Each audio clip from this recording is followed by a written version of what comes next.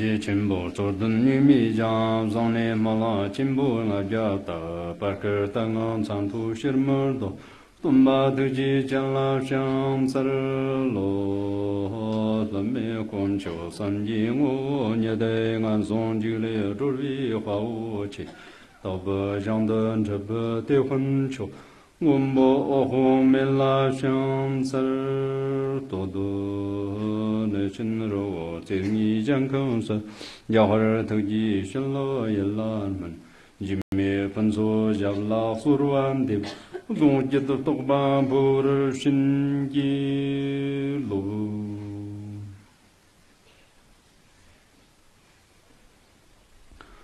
请大家为了度化出虚空般无边无际的众生发菩提心，并且如理如法的谛听。呃，今天呢，啊，我要这里。对专修或者呢主修净土班的老人们讲一点话，也就是说，选老人一心念佛求生净土的问题。那么老人们呢，该好好考虑自己的生死大事了。啊，时间也过得很快，说不定呢，这几年就有无常到来。那么到了死亡的时候呢？有没有真正的下落呢？是该好好想一想。如果平常没有靠近阿弥陀佛，没有训练，那么在死亡的时候呢，一无助障。那么这样还是要在轮回的。如果恶业发动呢，那么堕落三恶趣，堕落了三恶趣，那更是千千万万劫在三恶道当中。受苦啊！而且，老人家们为主，看看自己所在的城市，在这一天一夜里面，死掉多少的人？不要说生西方，就连升天百千人当中没有一个。再说修行人里面不求生西方的话，那么又有多少人真正了生脱死呢？现在你已经有报了吗？准备在临终的时候怎么来通过呢？那么人生大部分的时间已经空过了，是该好好的算一笔账了。也就是说，在这一生修行有多大的进步，烦恼呢减了多少，业障呢又消了多少？那么以五年来计算，以前的五年有多少进步？往后呢，就只剩下一个五年，或者是两个五年，而且呢，越来越老，那么这个精力呢，越来越会衰弱，而且还有老年的苦呢，会越来越多，越来越重。如果不抓紧这一段的时间，全力以赴的积累好旺盛的质量，那么这一撮恐怕就成千错万错了。所以呢，就是老年人要安静下来，好好的想一下，到临终失望的那一刻，自己有没有生死之在的一个境界？再想一下，现在啊，生一场大病，能不能心里不乱呢？在生大病的这个时候，心里都做不了主，很慌乱。很迷惑，何况是临终失望的时候呢？而且，在临终四大分界的时候，就好像呢一个河流剥皮一样，哎，不是大的修行人哪里能轻轻松松的度过呢？再想一下，这一生敢保证只有善业没有恶业吗？就看平日里心里想的，口里说的。身上做的造了多少的业？临终如果恶业发动，那么就会把自己的内在的心呢拉向善恶去。这一头下去，那就是前生万劫也难以解脱出来的。而且呢，堕在恶趣受苦报的时候呢，还会引起种种的恶性，旧的业没有完全过饱。穷尽那么又加上性的罪业，那么这样就是无穷无尽的轮转，呃，怎么得了的呢？在佛经上讲，七复以来，又是一只八万劫来未脱隔生，意思就是说，堕落成蚂蚁之后呢，一直到七尊佛出世以来，都一直是蚂蚁，还呢透了各自的身体。八万劫都是呢，超脱不了的。那么一想到这些，身上汗毛都会竖起来的，怎么还不上进呢？应该是能够往生西方净土，对这个呢要做充分的准备。而且呢，在临终失望的时候啊，今生的父亲母亲救不得你，还有今生的。儿女代替不得你，你眼睛看看周围，有谁可以做依靠呢？能靠得上谁呢？只有阿弥陀佛能救度你，能摄受你，能保护你，能成就你。哎，这不是很明白吗？生是大事，谁都依靠不上，只有靠阿弥陀佛往生西方极乐世界。如果这一点真是抉择清楚了，那就一心一意的念佛求生净土。对你来说，再没有第二条路了，再没有第二个可依靠处了。而且呢，切切要趁着现在眼睛还看得见，脚还能够走，还有精力，身体还健康的时候呢。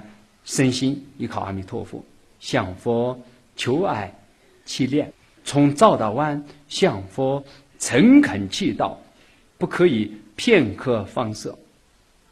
如果没有对这个法门郑重，考不丁，考不稳，那就不免糊里糊涂错过去了。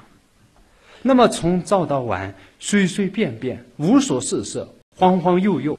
那么今年一晃就过去了，那么到了后面呢，疾病缠身，卧床不起，口里想念也念不出，心里想怨也怨不了。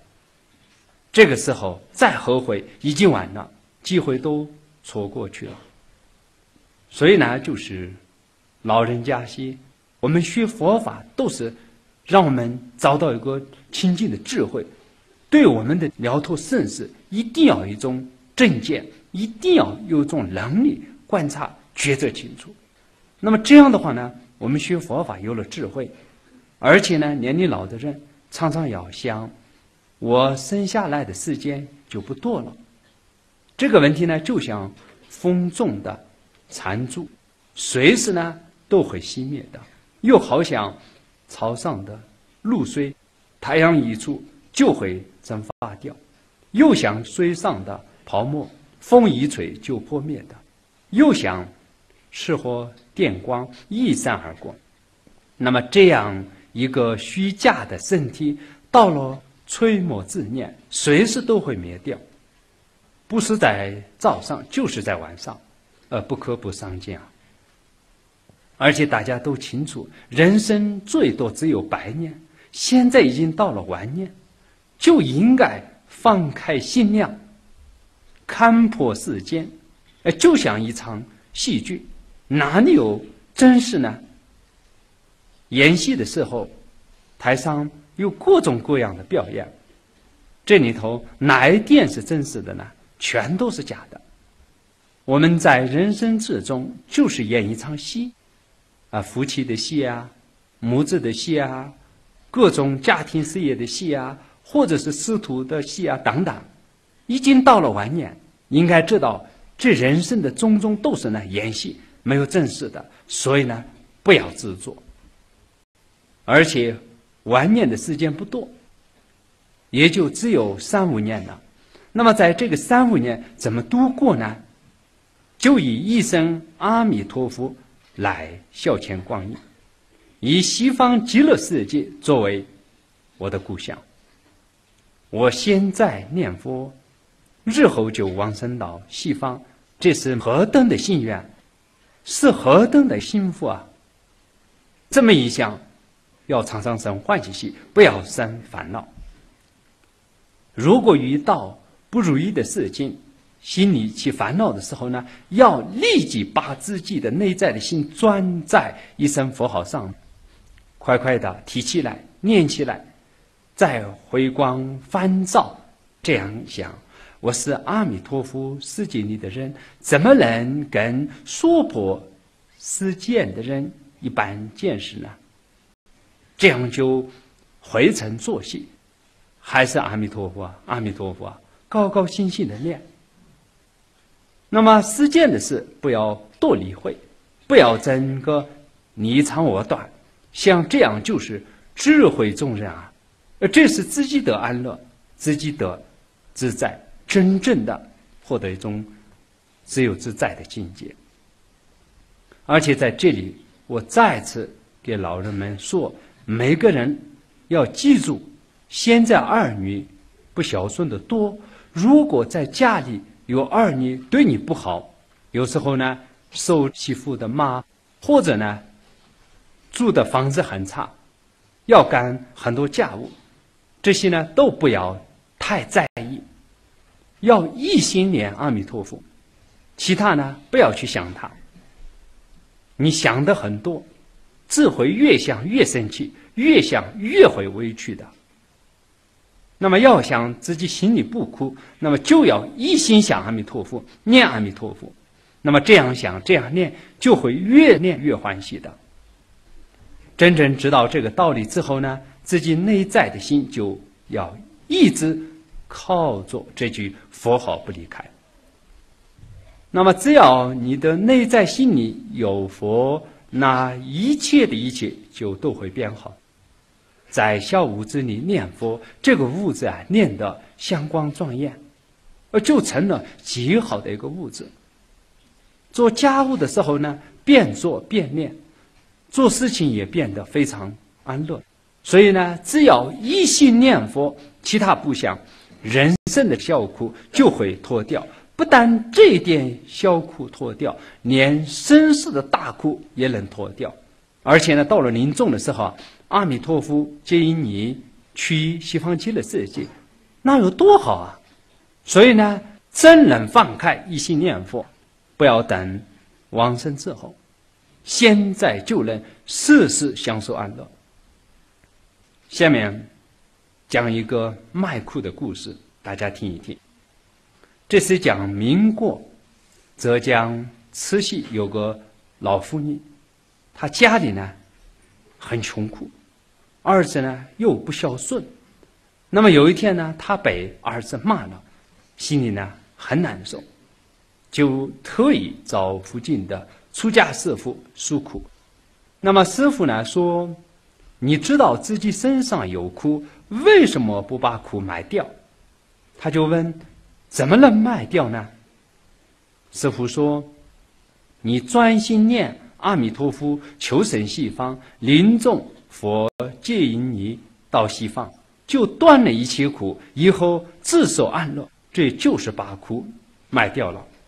老人说：“我们母子俩住同一间房子，里面既有窗又有灶，窗下呢还有猪圈，这么邋遢，那么肮脏，怎么能念佛呢？”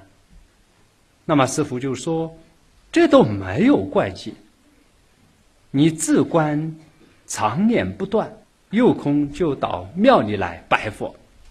那么这一后，老人呢就一教分心，一心呢求脱苦，念佛从不间断。那么三年过了，在他临终前几个月，他对儿子说：“几月几号我要生西方，你不要外出，给我料理后事。”也算尽儿子的一个孝道。当时呢，他儿子就根本不相信。过了一段时间，再次提起的时候呢，儿子还是不信。到了临终的前几天，他儿子忽然闻到非常奇异的香气，到处找，也不知道从哪里传来。在这个时候，才相信他的母亲说的是真实语。到了这一天，他在家守候，只见母亲母语更衣，端坐着念佛就往生了。那么像这位老人家，他家里很穷苦，儿子呢物理不孝，照一般晚年是很苦的。但是呢，他因为自己的苦而一心想脱苦，就一心考阿弥陀佛。结果呢，这一切的苦都解脱掉了。另外，以前我还给大家讲过黄大铁的故事。这个人也是很穷苦，以大铁为生。那么后来有出家人来，他就轻视修行的方法。那么师傅呢，就教他念佛。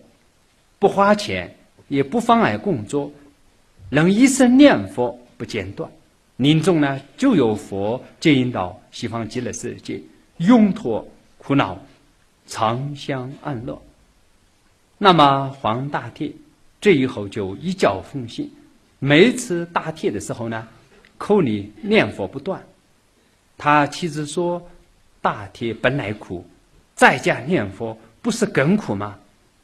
当时黄大铁说：“这个法好极了。以前我在火炉边觉得很热，一念佛就不热。大铁觉得胳膊很酸，念佛就不算了。几年之后呢，他忽然母语更易，对妻子说：‘我今天要回家了。’妻子说：‘这不是你家吗？你哪里还有家呢？’”他就说：“我的家在西方。”妻子笑他：“你去好了。”他还是呢，边打铁边念佛，口里说了一句：“叮叮当当，九连成钢，太平将军，我往西方。”那么这样就站着往生了。当时呢，奇异的香气非常浓郁，天月明空，大家呢都共同闻到了。民国还有一位叫赖香令，呃，这是江西的一个农民。以前呢，他很爱喝酒。六十多岁的时候呢，他儿子死了，就领着媳妇、孙子种田过日子。他觉得做人很苦，总想处理。听别人讲净土法门，就开始呢。是常数念佛，一心一意的求往生。那么久而久之，念得越来越成熟，即使一天到晚干活，也不间断一句佛号。到七十多岁，有一天，忽然呢，他的脚肿了。当时呢，叫孙子向西方陈列贡品，而且说西方的境界很好啊。你看，好多莲花。我今天要到西方极乐世界去了。孙子说：“阿公的脚肿得很厉害了，怎么能去呢？”老人说：“不是身体去，是兴趣。”那么真烧香的时候呢，老人就面向西方，解家父座念佛就走了。所以呢，老人家们。只要你们一心一意的念这句佛，什么时候都不忘掉佛，那就算在家里做一些事情，也不会觉得苦。我们在念佛的时候啊，心里欢喜呢，干什么都是欢喜的，见什么人都是欢喜的，日日夜夜有哪样不欢喜呢？所以呢，就是晚年要想安乐呢，就不离开这句佛。一离开佛，心里起无名烦恼，就又落到苦里去了。如果能这样转移，能这样坚持念，也用不了太长时间，就可以做到边做事边念佛不断。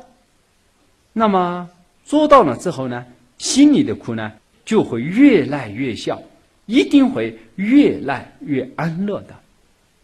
所以呢，要好好想一下，是不是一句佛号安度晚年？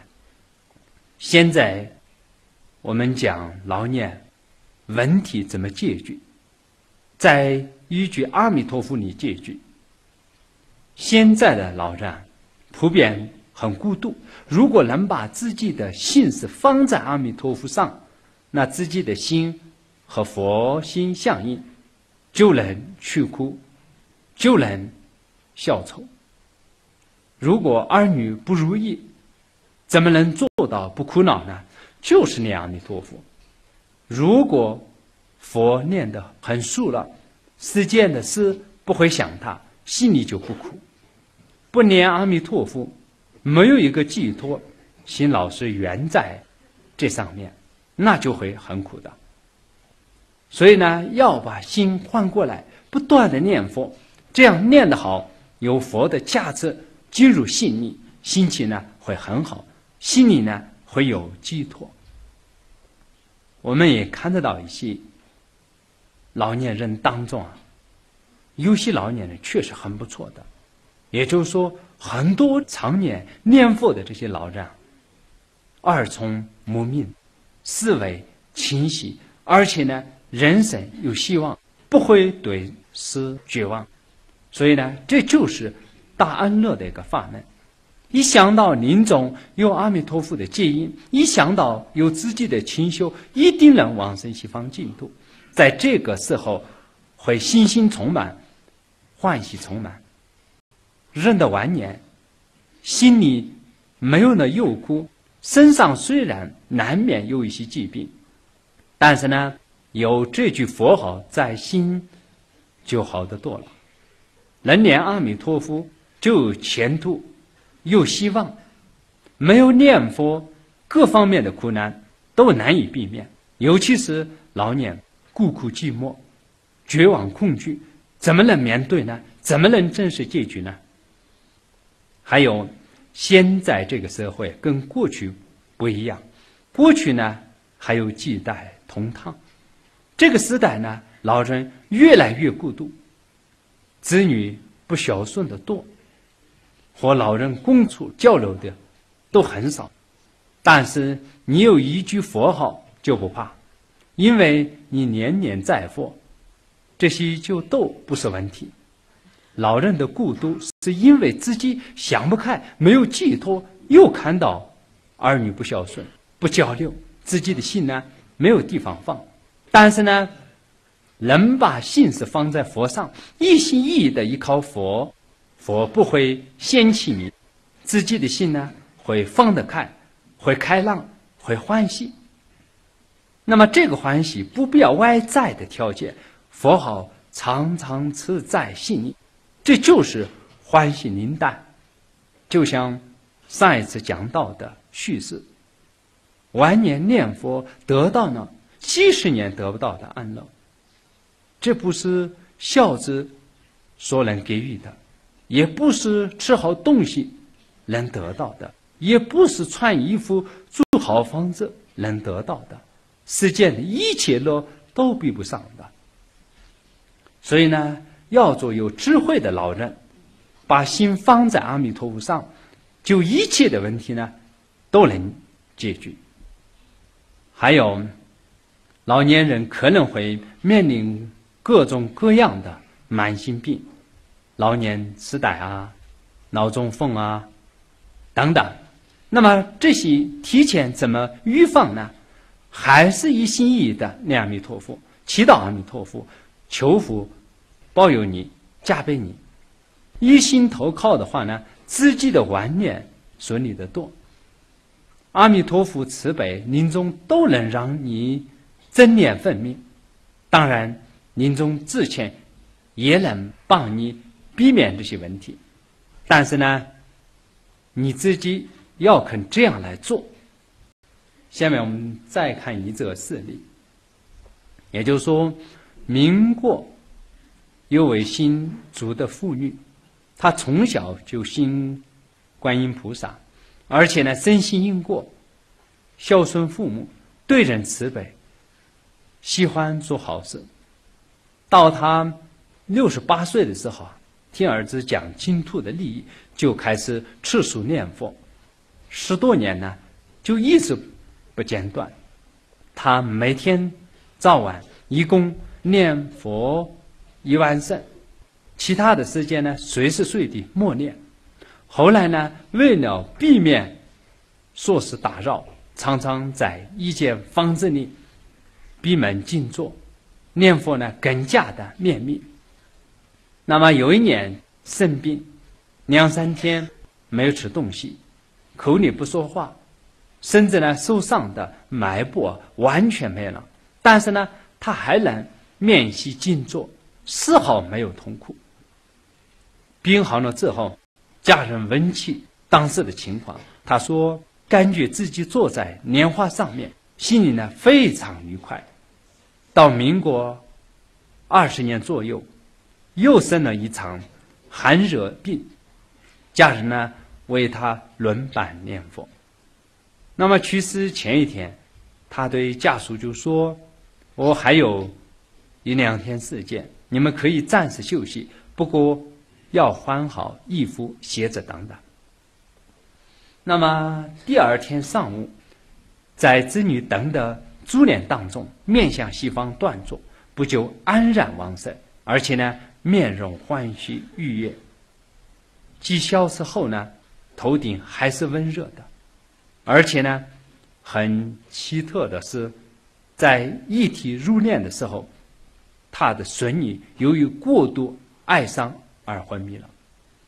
等他醒过来之后，对大家说：“我见到西方大发光明，观世音菩萨手里拿着杨子，领着无数菩萨从空中降下，祖母跟在后面，身轻光彩。”和身前大不一样，一切的景物都很庄严灿烂。见到这个情景，我的爱痛顿时消失，心中的愉悦不可形容。哎，当时就是这样的。那么，大家能学公安里这位老人，他怎么做，你也随他做，那就有大福气了。他就是世间的一切事都能放下。自己一个人安安静静的修，所以呢，晚年呢过得非常清净，非常平安，王胜呢也非常顺利。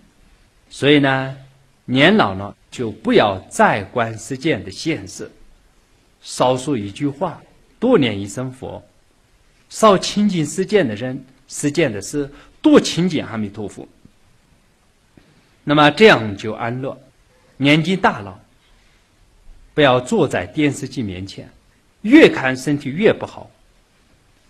应该呢，电视呢要完全戒掉，东奔西跑也完全戒掉，安安静静的待在自己的房间里，一心一意的念佛就最好了。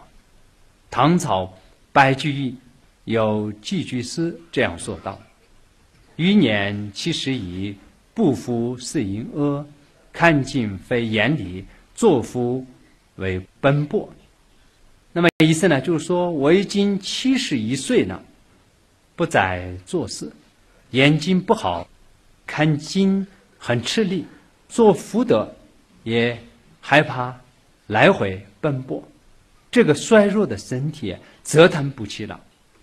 又说何以度心言，一生阿弥陀。这就是说，老年的心怎么来度过呢？把心寄托在什么上呢？就是一句阿弥陀佛。又说心也阿弥陀，坐也阿弥陀，总扰忙世间，不非阿弥陀。意思呢，就是说走也是阿弥陀佛，坐也是阿弥陀佛，就算非常的忙，也不丢掉这句阿弥陀佛。又说日暮而突圆，无生已蹉跎，但系清净心，单念。阿弥陀，就是说，已经快天黑了，街头的路还很长远，而我这一生已经错过了。我现在从早到晚，就是以清净的心自念阿弥陀佛。所以呢，白居易写这句句诗，确实我感觉讲的非常好。而且呢，每个人如果按这样做的话呢，对自己的生生世世都有很大利益。所以呢，就是每个都有，尤其是老年人，真真正正的，我是一而再、再而三的强调，也是今天的祈祷的方式、合葬的方式，全老人们为主，一心念佛求生净土啊，相当重要。那么在《念佛感应见闻记》里面讲到一位孙峰印的居士，他自己这样讲：我先生是一个穷公务员，又有六个子女，必须量入而出。好在修这个念佛法门，不要花什么钱也可以修。我每天早晚点香、礼佛三拜以外，洗衣服时念佛，做饭也念佛，扫地也念佛。我时时刻刻都是默念在心。我见了邻居就劝人念佛，劝人听经，可惜他们都不信。有的反而把我看成是愚昧迷信的，所以呢，我看他们成天说东说西，说一些是是非非，虚度光阴，就觉得他们很可怜。下面再讲这位孙居士身上发生的一件事。这是某一年的五月份，有一天晚上，大概就是两点钟，他在睡眠当中，那么左手的脉搏上呢。忽然被什么东西咬了一口，痛得要命，立刻呢大声哀叫。他的先生和大孩子起来，见到一条大虫在他手臂上爬动。那么父子俩呢，赶紧把大虫抓住，钉在墙壁上。他当时痛得要命，被咬伤的地方呢，好像有什么一个东西会到处流动，一直痛到脑海里。感觉呢，头胀得像都一样大，但是呢，心里很明白，那一股通气呢，如果通到心脏就没有命了。当时呢，胸口呢被堵得喘不过气来，他自己也想到，命中注定该活到此时此刻为止，恐怕没有办法救了。那么他觉得这下命保不住了，就一心大圣念阿弥陀佛，虽然。痛已经蔓延到脑部，即使走到心脏，他还是一直用心念佛，希望阿弥陀佛接引自己去西方。当时三更半夜，没地方去请医生，所以呢，没有打针，也没有吃药，一心一意只想往生西方，一直不间断的念佛，念到不惊不怖，心里呢一丝不挂，只有一句阿弥陀佛。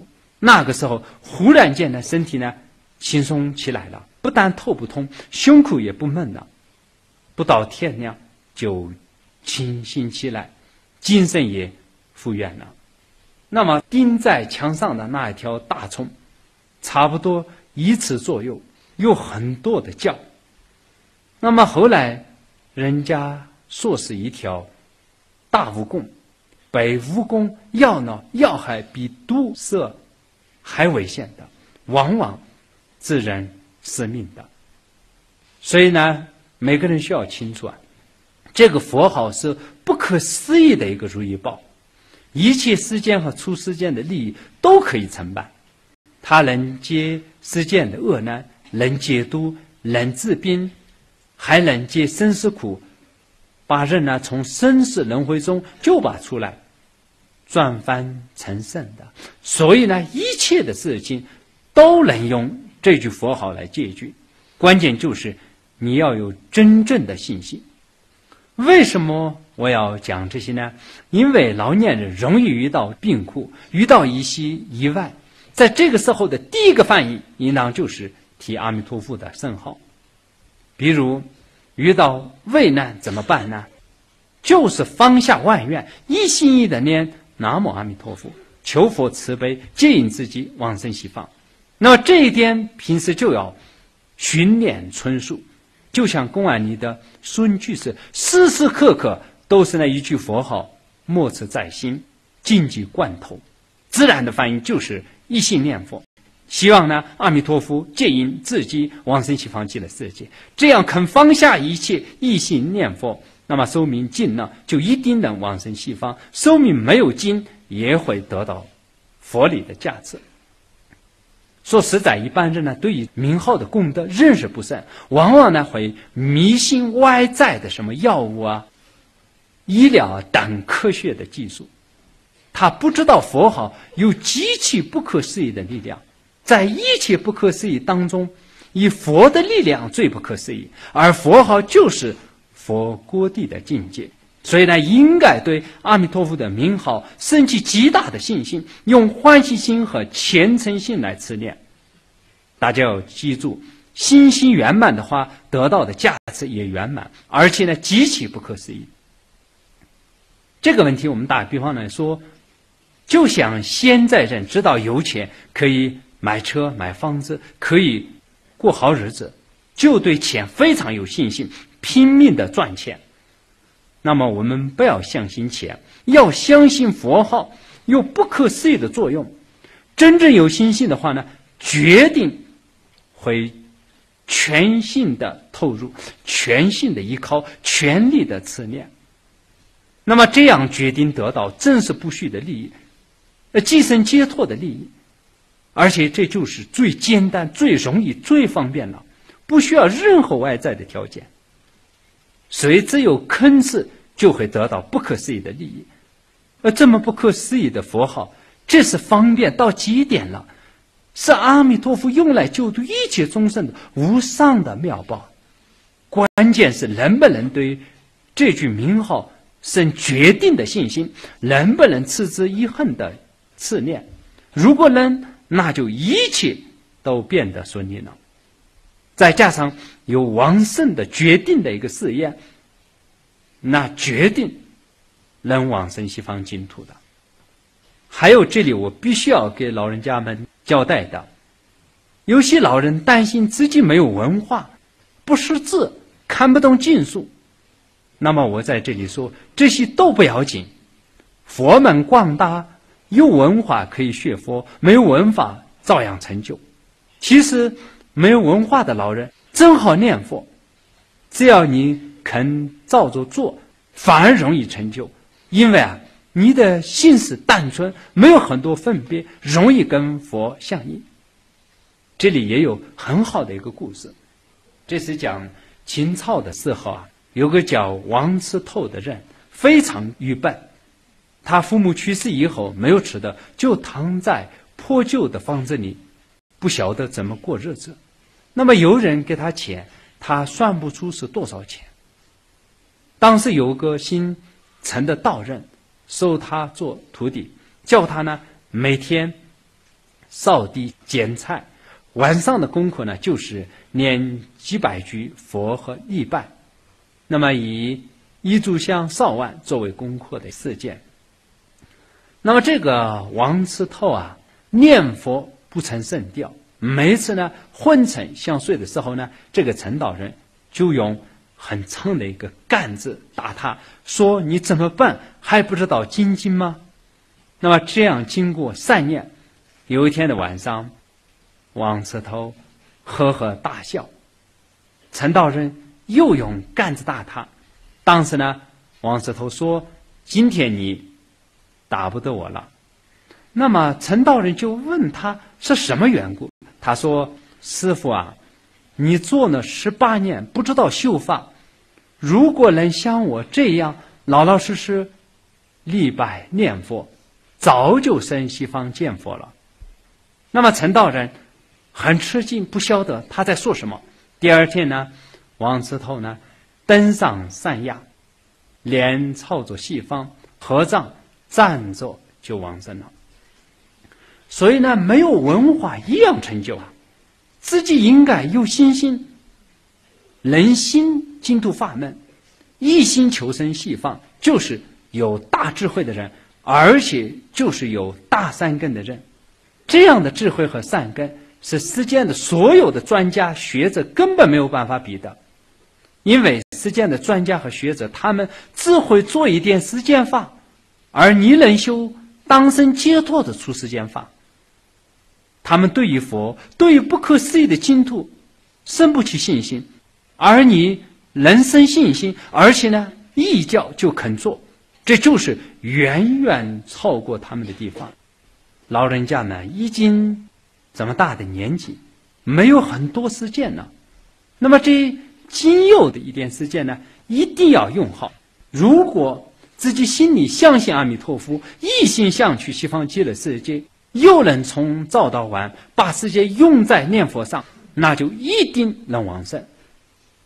如果这一段时间不用好，而只是东奔西跑，什么都搞一搞，那么这样心不专一，没有固定的一个方向，到了临终，心里呢慌乱无助，那就危险了。书上有这样一个例子，哎，这是住在海外的一个中国老太太，她信佛很多年，但是呢弄得很杂，这里也学一学，那里也学一学。后来呢，有人劝她说这样不好，应当呢一门深入，专念阿弥陀佛。她以后就改了，专修净土，只用了三年的时间。这一天呢，到了吃饭。没有见他出来，再一推门，看到他坐在床上，已经没气了。在他腿上有一张写好的遗嘱，而且把二孙串的孝服都做好了，年代名字也写好了，放在床上。那么这位老人早就知道自己什么时候往生，所以呢，提前把事情都准备好了，在别人睡觉的时候呢。他就封这些孝父走的呢非常吉祥，所以呢，不管怎样，年纪大了，最好呢以西方净土为归宿，在人间就只剩下几年了，一定要分清楚主要和次要，要把往生净土作为修行的重点，而且呢，要让这个终点突出再突出。那么这样一心投入在念佛上，让念佛的念力一再的加强，那么最后就是一门心思，唯一念阿弥陀佛，唯一去向极乐世界。那么这样就一定得到阿弥陀佛的接引，往生西方极乐世界。这一上呢，就是针对老年人净土办为主讲的净土的开始内容呢，算这个结束了。大一。